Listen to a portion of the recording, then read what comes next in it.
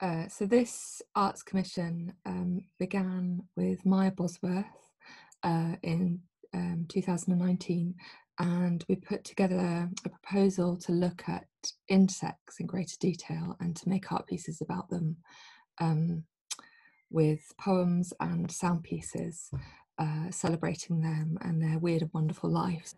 So we did a series of uh, workshops uh, from school children through to the kind of retirees in my village, um, thinking about insects and writing poems about them. And uh, the fruits of those have been uh, produced beautifully by Eliza. She's done a really good job with them and they sound amazing. And it's really nice as well to have poetry restored to its oral roots in that way because poetry began as an oral form. You know, you'd have had somebody telling poems and stories and reciting them.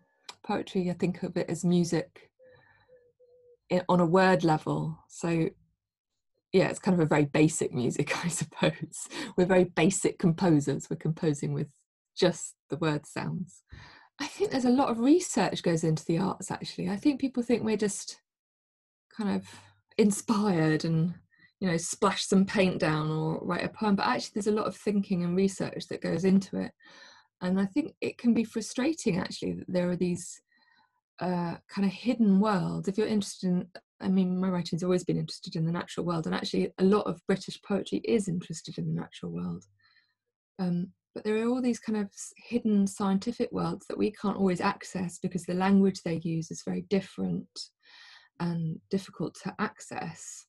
It did tend to be something that was the hook like with the cockroach who which was a sticking point for me because i don't like cockroaches. So finding that they were good mothers was kind of the hook that took me into that world and talking to entomologists about these insects that they love has also kind of helped spark that joy and i think i think this is a i think these insect poems are joyful and i think that is a new thing in my practice. I, if we want to talk about something broad i think that kind of joyful playfulness coming back in is has been really nice for me and um, a really nice place to be with my work right now because you suffer your young to swarm upon your back, and do not flinch or buck them off, but carry them like a human playing horsey with her children, down on hands and knees, decrying the swag of her own loose flesh.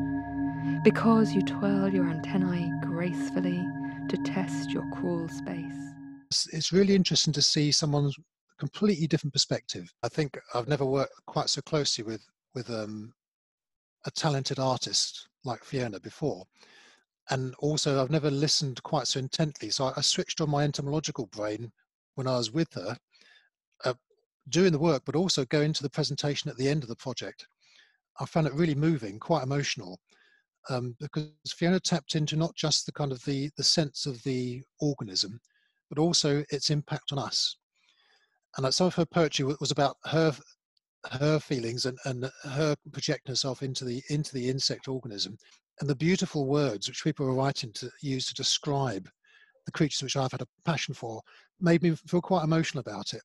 So yeah, I did, I did a really new insight into how powerful poetry can be in what I would otherwise think is a very scientific topic you know, when Fiona sends me a poem, you know, even though she's not a scientist by nature, she's really, really grasping to understand everything that the scientist is telling her and be able to work it into this like magical poem. And I'm really in awe of how much she thinks about the science and how to translate that into a poem. I'm really, really like deep in the poem um, and thinking about every specific line and word and you know how best to represent it in sound and um, it's just a real privilege to work in that way with poetry. We've been doing a lot of Zooming and a lot of getting people to record on their iPhones. And I think we're in a really lucky place right now where the technology is such that we can do that and come up with decent recordings. Before, I would always try and source music and sounds from other people and online, but now I feel much more confident in my abilities to make those sounds myself, um, which is a massive a massive step. And it, yeah, I, I've just made so much music and sound in the past couple of months I've got this like library now, which yeah, I would never have imagined I'd be able to do. So I also felt like I couldn't really call myself a sound artist, but now I'm like, actually, I probably could call myself a sound artist.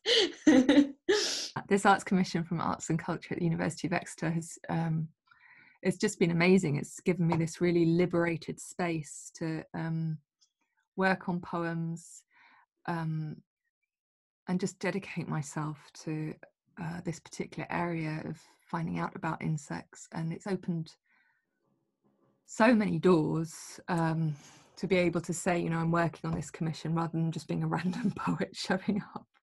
And I also think that we're doing something um, quite new with the idea of this audio pamphlet, and I think you know I think that's a really lovely thing as a as a as a art piece. I think the idea of having these collections of poetry online is a really nice way of presenting poetry, and I hope you know I'd like to see more of that. I think more um, kind of experimentation with the way we present poetry and the way we experience it. I think both me and Mair were really clear when we began it that we wanted to inspire kind of wonder at the world of insects and rekindle that kind of fascination and wonder you have when you're a child and you kind of lose. Yeah, just to kind of re inspire wonder and um, kinship, I think, with the other inhabitants of this planet.